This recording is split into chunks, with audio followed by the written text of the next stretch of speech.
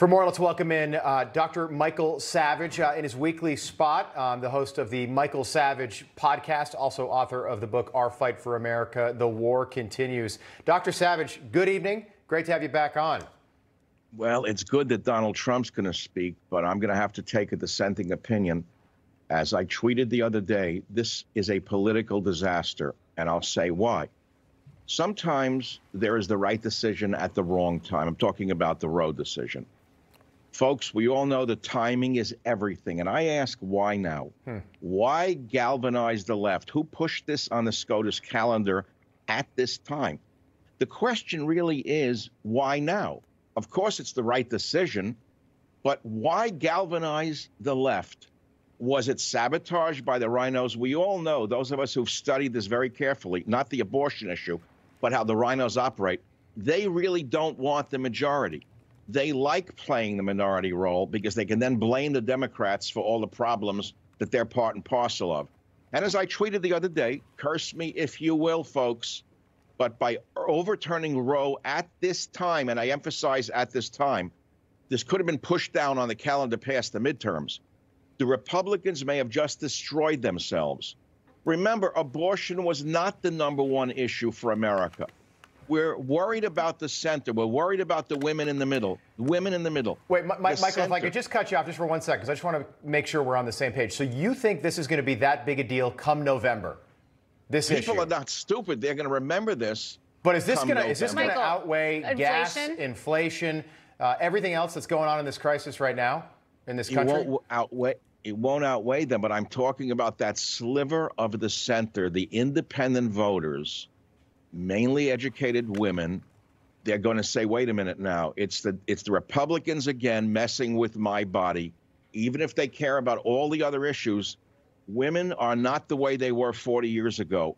They don't want their bodies legislated by, let us say, evangelicals or Republicans who you say, well, they're not on the court. Well, that's not the point.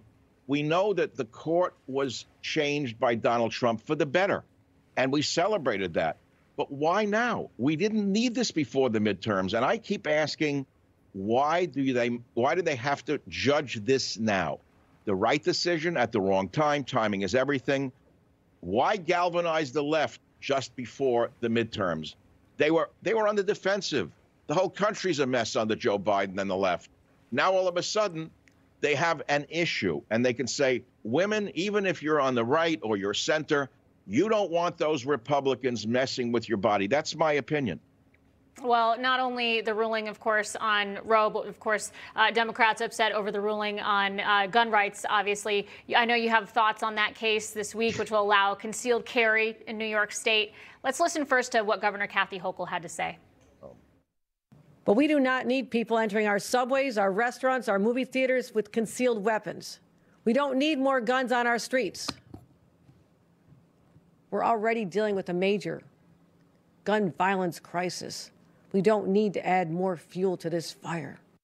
I don't know about you, doctor, but I feel safe knowing uh, more good guys out yeah. there on the streets have guns yeah. as opposed to all these thugs out there. Law-abiding citizens. 100%, 100% agree with both of you. Look, she's 100% wrong. She doesn't like gun violence.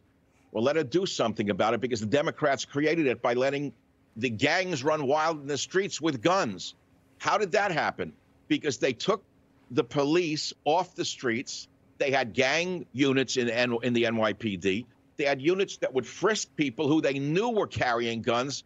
They knew who they were, and they deballed them, they handcuffed them, and now they're shooting up the streets like the Wild West. So let her direct her rage towards herself and towards the mayor of New York City. They created the problem. Now, the, here's the thing, though. Again, Uh, it's a dissenting opinion. I'm a gun owner. I have a concealed carry permit, which is very rare in this city. But I will tell you this it's not as clear as you may think where people suddenly have a gun. You got to remember that those who are willing to shoot right away, like these idiots in the streets shooting each other, yep. most of them are drugged up. They're violent. They use guns all the time.